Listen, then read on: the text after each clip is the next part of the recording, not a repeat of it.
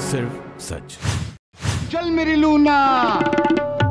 अब नहीं कराते किसी को वे हो गए मिस्टर अप टू डेट। जीवन इनका रहा न सूना शान से बोले चल मेरी लूना। सफलता की सवारी लूना। लूना करती पक्का वादा खर्चा कम मजबूती ज़्यादा। आप में से कई लोगों को ये ऐड तो ज़रूर याद होगा।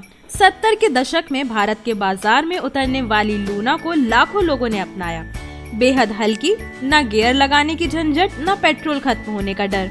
मतलब अगर रास्ते में पेट्रोल खत्म हो जाए तो पैडल मारकर ये आपको घर पहुँचा ही देगी। यही वजह थी कि उस समय टीवी पर आने वाला चल मेरी लूना का विज्ञापन हिट रहा। आलम ये था कि गाँव हो या शहर, अधिकारी हो या चपरासी, आराम से इस सवारी का लुफ्त उठाते थे। इसके दाम बेहद किफायती थे, जिसके चलते ये घर घर में पसंद की जाने लगी। लूना को इतना पसंद किया जाने लगा कि क्रिकेट का मैन ऑफ़ द मैच और कॉलेज में अव्वल आने वाला विद्यार्थी का इनाम या फिर किसी मूवी की शूटिंग हो, हर किसी की पहली पसंद लूना बन गई। ये 50 सीसी की मोपेड 1972 में भारतीय बाज़ार में उतारी गई और करीब 28 साल तक इसका उत्पादन हुआ। करीब पाँच मॉडल आने के बाद 90 के दशक तक हाई परफॉर्मेंस मोटरसाइकिल की डिमांड बढ़ने से इसकी बिक्री में काफ़ी गिरावट देखी गई। इसके बाद कंपनी ने 2000 के दशक की शुरुआत में इसका प्रोडक्शन बंद कर दिया। वैसे आज भी कई लोगों के घर में इसके मॉडल मिल जाएँगे और कुछ लोग अब भी इस पर सवार होकर पुराने दौर को याद करते हैं। अरुण फिरोदिया द्वारा बनाए गए दो पहिया वाहन का शरीर पतला था और शुरुआत में इसे देश के मध्यम वर्ग पुरुषों और महिलाओं दोनों को लक्षित किया गया था। लूना को उन लोगों की अपेक्षाओं को पूरा करना था जो भारत की दुर्घटना प्रवण सड़कों पर सवार थे और केवल 50 किलो वज़न वाले हल्के वाहन के लिए ये एक बड़ी चुनौती थी, जो खराब गुणवत्ता वाली भारतीय सड़कों का सामना कर सके। इसे धूल भरे वातावरण, मिलावटी पेट्रोल और ओवरलोडिंग जैसे तत्वों का भी सामना करना पड़ा। अगली कड़ी में बात करते हैं काइनेटिक होंडा की, जिसकी कहानी लगभग लूना के जैसे ही शुरू और खत्म हुई।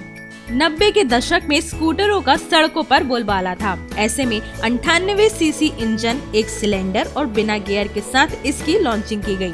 भारत की कंपनी काइनेटिक और जापान की होंडा द्वारा बनाया गया ये स्कूटर का प्रारूप बहुत ही कम वक्त में लोकप्रियता के आसमान को छूने लगा।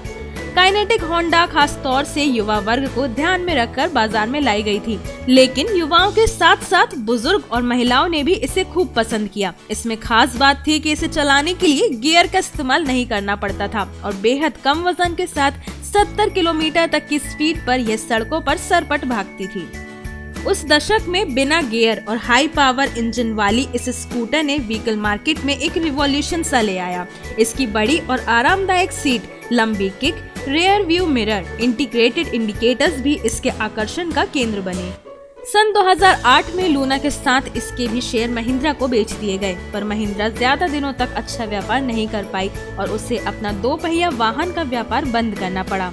वक्त बीतता गया और बाज़ार में टू व्हीलर के एक से एक ब्रांड लगातार आते रहे 2009 में होंडा की एक्टिवा टीवीएस और इसके बाद इनके अन्य अपग्रेड वर्जन आते गए आज शोरूम में आपकी पसंद की टू व्हीलर लेने के लिए कई ऑप्शन मौजूद हैं। यही वजह है कि लूना हो या काइनेटिक होंडा ये बाज़ार से पूरी तरह समाप्त हो गई और आज इनकी सुनहरी यादें ही कायम हैं।